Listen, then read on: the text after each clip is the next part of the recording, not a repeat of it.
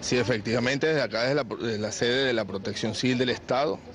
nosotros venimos haciendo el seguimiento mm, y trabajando de manera articulada con los demás organismos de seguridad y las instituciones de servicio en relación a la problemática de lluvia que se vinieron presentando desde los días pasados acá en nuestro estado. Hasta el día de hoy hemos contabilizado cuatro municipios que se vieron afectados directamente producto de estas precipitaciones.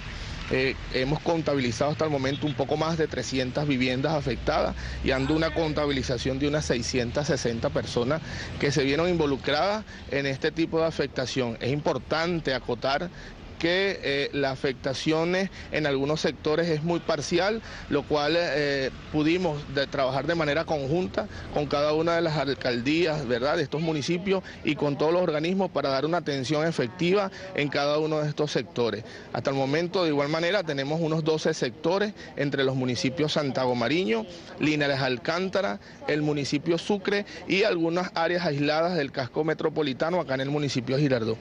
Tenemos en el sector La Julia, hubieron algunas urbanizaciones que directamente producto de estas lluvias se vieron anegadas, una, una negación parcial, aún no más de unos 30 centímetros en cada una de estas urbanizaciones, como lo fue urbanización La Fuente, sector de Las Carolinas, ahí tenemos también eh, el sector 6 de enero del municipio Mariño y una eh, urbanización que la llamamos Ciudad Bendita, que está entre la parcela 32 y la parcela 33. Hay algunos casos aislados donde eh, algunas de estas viviendas tuvieron pérdidas de enseres y de algunos electrodomésticos, pero ya desde las secretarías eh, dedicadas a esta atención permanente desde el gobierno regional se está dando una atención permanente y efectiva a cada una de las familias que ameriten, por supuesto, que eh, el Estado tenga esta acción directa en cada una de, de estas viviendas.